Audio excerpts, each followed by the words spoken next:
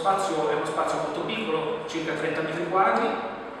un po' eh, perché eh,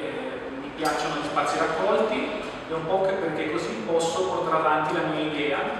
che è eh, presentare con monografiche il lavoro di artisti ormai storicizzati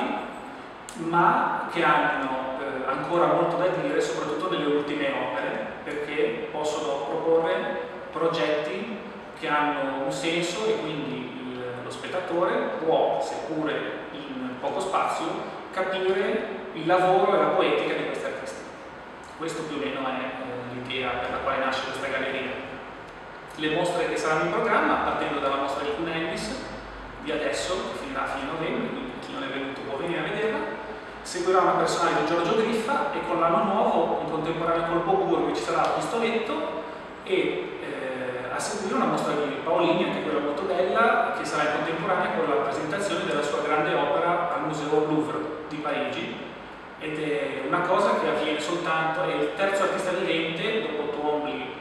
eh, il secondo artista vivente dopo Twombly a avere questo onore, quindi sarà una cosa bella, è un'emozione sia poter ospitare una mostra qua che